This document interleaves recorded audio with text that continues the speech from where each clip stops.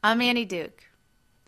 In middle position, we can comfortably think about opening the pot with a wider range of hands than we would in early position. While we still don't want to be getting too crazy with our starting hand selections, there's also no reason to play like a complete rock either.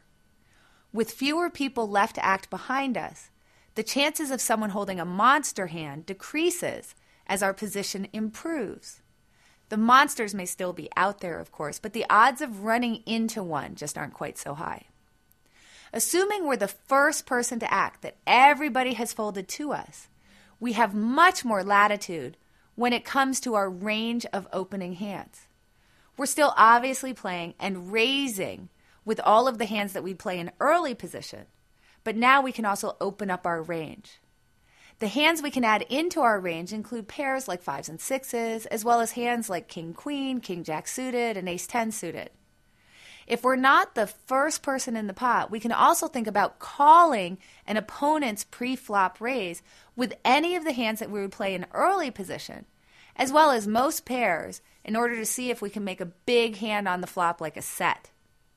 If you're opening the pot in middle position, be sure to play close attention to your opponent's images and stack sizes.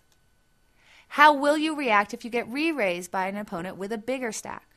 Will you call if a short stacked opponent shoves all in over your raise? Is your opponent loose or tight? Also, remember that it takes a stronger hand to call a raise than it does to make a raise yourself.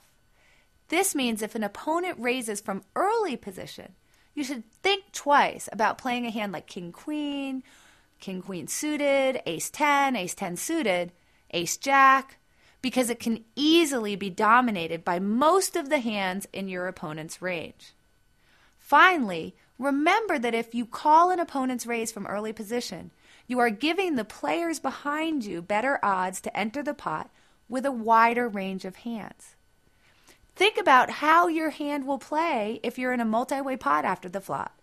And be careful about getting too attached to your cards if you should flop something that's marginal, like just top pair.